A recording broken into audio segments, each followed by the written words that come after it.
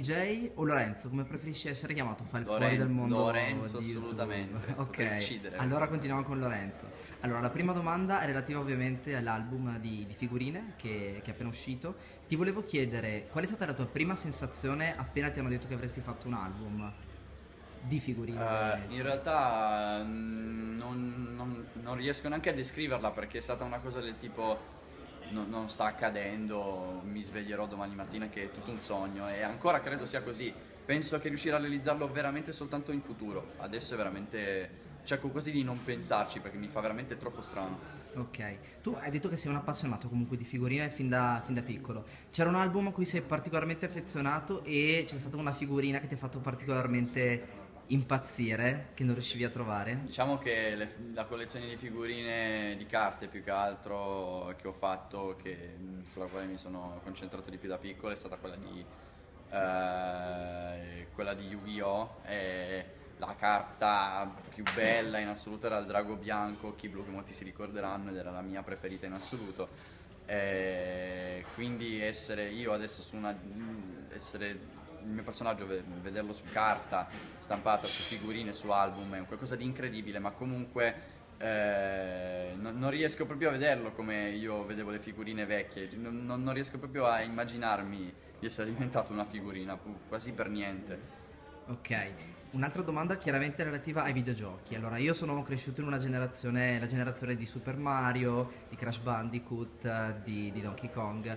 Quali sono i tuoi videogiochi, diciamo, dannata preferiti, quelli di un tempo? Crash Bandicoot te lo rubo proprio Ok, te lo prendo te va lo bene. poi il mio preferito in assoluto è Metal Gear Solid Metal Gear Solid. è la mia saga proprio preferita in realtà è strano perché ci giocavo a 4 anni e quei concetti di guerra è un po' strano però è il mio- la mia saga preferita in assoluto poi andavo passavo da quello a Dragon Ball a Ok, Bugs i Bunny grandi classici, quindi insomma, classici, i nostri grandi andavo- classici sì, sì, adolescenti. Allora, un'altra domanda, il nostro- le nostre lettrici sono appunto prevalentemente un- una fanbase femminile, ci sono anche lettori chiaramente maschili. Ti volevo chiedere, hai qualche videogioco da consigliare particolarmente alle ragazze? Cioè qualche videogioco che potrebbe particolarmente piacere alle, alle nostre lettrici? Ma in realtà a chi piace videogiocare piacciono tutti i videogiochi. Io ad esempio la mia ragazza che va pazza ad esempio per Prince of Persia o Assassin's Creed pur essendo una ragazza, quindi non ci sono proprio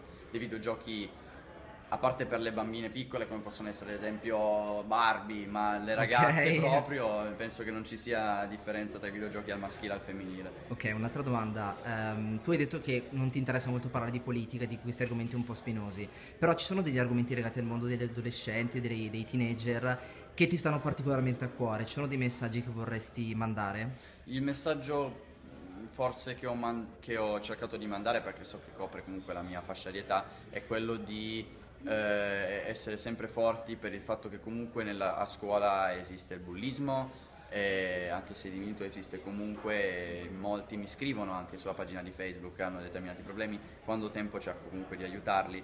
E, quello di- l'unica tematica che affronto è quella di non lasciarsi mai abbattere né dai problemi scolastici né dai problemi familiari, perché comunque c'è sempre del buono in ogni giorno. Ok. Eh, eh, anche, anche per il fatto che loro comunque mi dicono, aggiungo questa cosa. Sì, no, no, fai- fai eh, benissimo. guardare i miei video, molti mi dicono guardando i tuoi video io mi distraggo e, e tutti i problemi della giornata passano via. Io cerco a mio modo di aiutarli anche in questo e si spera di riuscire a farlo nel modo migliore. Ok, è molto bello quello che stai dicendo, lo apprezzo molto. Un'ultima domanda, Cosa, che consiglio daresti a chi vuole aprire un canale su YouTube e per- anche per avere successo, diciamo, quali sono i, appunto, i consigli più, più utili per avere successo su YouTube in questo momento in cui ci sono comunque tanti YouTuber in circolo?